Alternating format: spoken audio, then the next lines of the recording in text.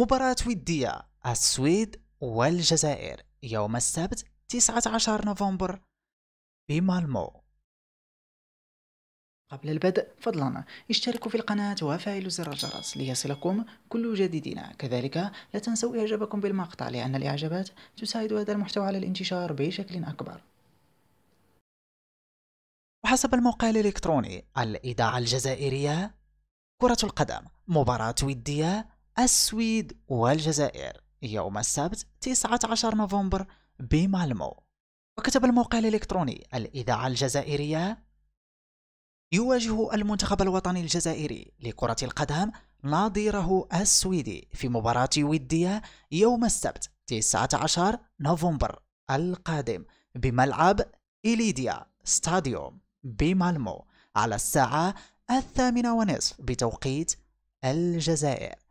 حسب ما أفادت به الاتحادية الجزائرية لكرة القدم الفاف هذا الأربعاء في بيان لها على موقعها الرسمي. وأوضح بيان الهيئة الكروية ما يلي.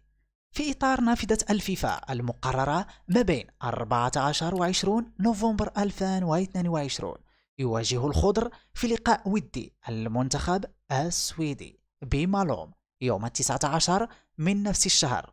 بإليدا ستاديوم الثامنة ونصف.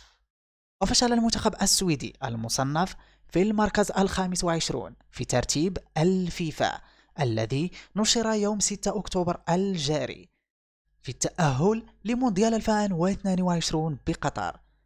20 نوفمبر 18 ديسمبر على غرار نظيره الجزائري. وسيلعب منتخب السويد قبل مباراة الجزائر مباراة ودية أخرى أمام المكسيك. يوم الأربعاء 16 نوفمبر بملعب جيرونا بإسبانيا.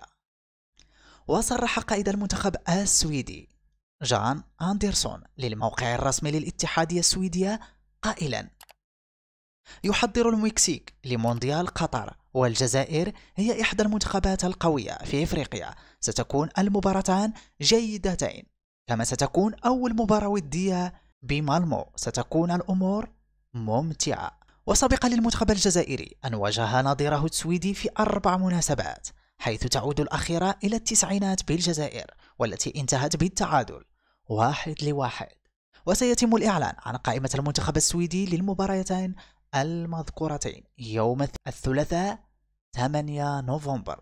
ويبقى رفاق قائد الخضر رياض محرز مانشستر سيتي الإنجليزي على فوزين في مباراتين وديتين أمام على التوالي النيجر 1-0 ونيجيريا 2-1 لعبتا يوم 23 و 27 سبتمبر الماضي بالملعب الأولمبي ميلود هدفي بوهران.